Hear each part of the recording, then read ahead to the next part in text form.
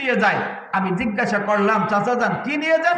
বলে লুঙ্গি নিয়ে যায় কিসের লুঙ্গি? বলে উমুক জাকাত দিয়েছে সেই লুঙ্গি।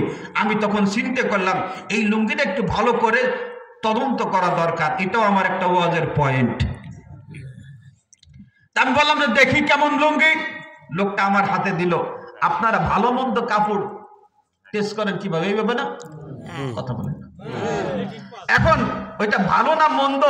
কাপড়টা কেমন সুতাটা কেমন এটা দেখার জন্য যেরকম যখন আমি এভাবে হাত ঢুকাইছি দেখি যে আমার হাতের আঙ্গুল সব দেখা যাচ্ছে।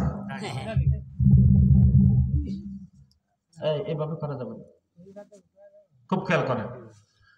তা যখন হাত ঢুকাইলাম কি দেখা যায়? আঙ্গুল দেখা যায়। আর কাপড়ে এত মার আমি মনে মনে চিন্তা করতেছি এই কাপড়টা যদি কাকা বাড়ি নিয়ে ধৌত করে কি অবস্থা হবে? তা আমি বললাম এবার চাচা যানকে চাচা যান যেই লুঙ্গি আপনাকে জাকাত দিয়েছে এটা যদি আপনি ভালো করে ধৌত করার পরে পরিধান করেন আপনার ঘর যদি পশ্চিম দিকে হয় দরজা যদি পূর্ব দিক হয় সকালবেলার সূর্য যদি ভালো করে ফোকাস মারে আর আপনি যদি দরজায় দাঁড়িয়ে থাকেন কাকা আপনার এক্স রে করার জন্য আর ফরিদপুর আড়াইশো বেডে নেওয়া লাগবে না। কথা বলে দেখেন। এরকমের লুঙ্গি আর কাপড় দিয়ে উনি অডিও করতেছে ভিডিও করতেছে পেপারে দিচ্ছে ফেসবুকে ইউটিউবে কথা বলে না কেন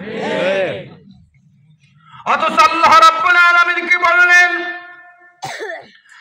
لن تنالوا البر حتى تنفقوا مما تحبون আল্লাহ বলছে, যত সময় পর্যন্ত তোমার পছন্দনীয় জিনিস আল্লাহর রাস্তায় খরচ না করবে, ব্যয় না করবে, তত সময় পর্যন্ত তুমি নেকির আশা করতে পারবে না।